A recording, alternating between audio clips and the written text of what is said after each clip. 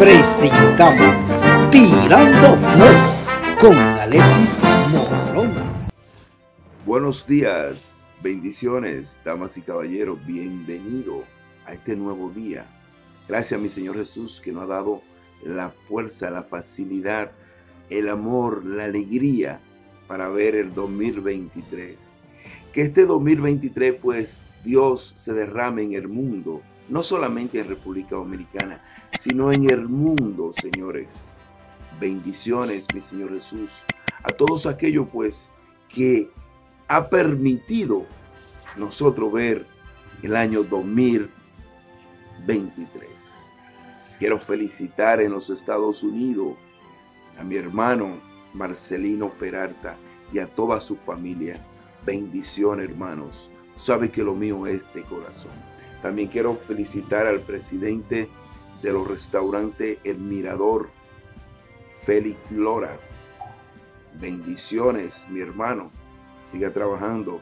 Que el Señor siempre lo bendice a usted y a todo lo suyo.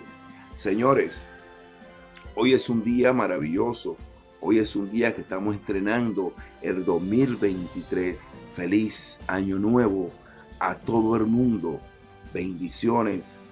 Pero también quiero felicitar al hermano Jaso y a su familia, a mi madre, al señor Luis Cáceres y toda su familia, a Mingo, Villares Mingo. Bendiciones, hermano. Felicidades. Un gran colaborador, un gran colaborador y un gran activista político, Mingo.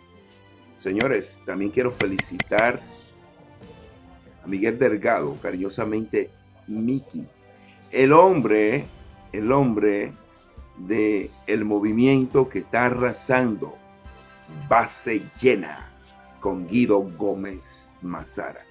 Bendiciones para el mundo, bendiciones para el mundo, que el Señor siempre está con nosotros. Estoy de vuelta.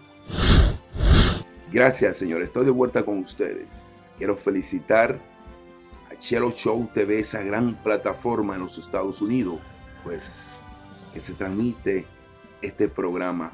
Bendiciones para ti y toda tu familia. Que este año sea de mucho regocijo y de mucha elegancia para nosotros. Bendiciones, hermano Chelo. Señores, eh, quiero felicitar, quiero felicitar al presidente de la República, Luis Abinader Corona. Quiero felicitarlo a él y cinco o seis de los ministros que trabajan con él, que están haciendo las cosas bien. Después los demás son un grupo de ñames. Ellos lo saben. Señores, todo el mundo habla de un presidente joven, elegante, hermoso, que se llama Nayib Bukele. Presidente de El Salvador. Salvador es un país pobre, más pobre que República Dominicana, un país de corrupto. Llega este señor y pone las cosas como van, las pone claras. Entonces, ¿quién era Yannick? ¿Quién era Bukele? O sea, le voy a dar una anécdota de la capacidad de ese joven, la capacidad de ese empresario, la capacidad de ese universitario. Ese joven, niño rico, de familia adinerada, como es a Luis Abinader, pues lo llevaban al colegio. El chofer lo llevaba al colegio y tenía que esperarlo que saliera del colegio. Mire la elegancia y mire la riqueza. Y mire los apellidos. Cuando llegaba ese niño a su casa, a la hora del almuerzo, en la mesa de su casa, pues solamente estaba la familia. Y él le dice al padre, ¿y dónde está el chofer? El chofer está comiendo en el patio. No, papá. Yo quiero que el chofer coma aquí. No, mi hijo, porque tú sabes, yo quiero que él coma aquí o si no, yo no vuelvo a comer más en esta casa. ¿Qué hizo el papá? ¿Y qué hizo Bukele? todos los empleados de la casa, cuando iban a almorzar, cuando iban a comer, para que me entiendan, comían todos los empleados juntos con los dueños. Eso lo provocó Nayib Bukele. Y dijo, quiero ser presidente para que los pobres y los ricos busquen una igualdad, para que los pobres no sean tan despreciados, no sean tan, eh, quítate de ahí. Eso hizo Nayib Bukele, el presidente más joven de la historia en El Salvador. Copien de ese señor. Un grupo de viejos. Copien de ese joven, de ese joven capacitado. De ese joven que está enderezando lo que es un país corrupto, lo que era un país dirigido y maltratado y humillado y la delincuencia que acabar con las bandas, con las maras.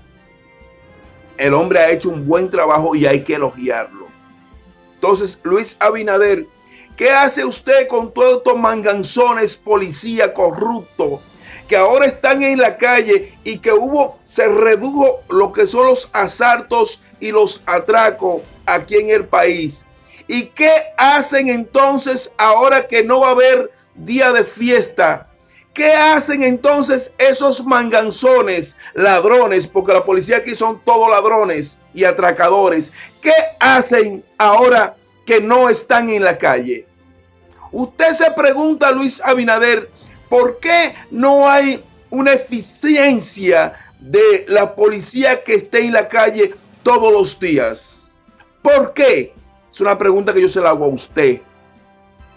Grupo de de, de, de, de, nada, grupo de inútiles. Vuelvo otra vez con ustedes, señores. La justicia independiente, que después dicen que yo quiero criticar. No, yo no quiero criticar. Yo quiero felicitar más un día como hoy.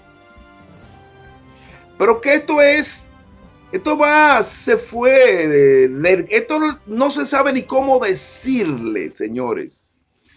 Ustedes se imaginan que de la operación Corar, unos de los empleados de la operación Corar devolvió mil millones de pesos a la justicia. Entonces, Luis Abinader, ¿dónde está su justicia independiente? Señores, por esto es el diablo. Esto es el diablo, señores. Yo le voy a dar nombre y apellido. un teniente coronel que era asistente del general, del mayor general, que era el jefe, de jefe de seguridad de, Danilo Medina, del Vico. Y el Vico no sabía nada de eso. Y uno de los empleaditos devolvió a la fiscalía mil millones de pesos. Fincas, apartamentos, fuera de eso. ¿Eh? Entonces, Luis Abinader, usted me está hablando de justicia independiente. Teniente coronel, ¿sabe cómo se llama? Se llama Erasmo Roger Cueva. Ese fue el que devolvió los mil millones de pesos. Señores, y Luis Abinader, la política de usted está muy atrasada. Porque usted vive en un país, usted gobierna un país pobre. Usted gobierna un país que ahora usted quiere eliminar los motoconchos. Para que sí, entonces todos esos motoconchos que se eliminan, entonces van a atracar para mantener a sus hijos.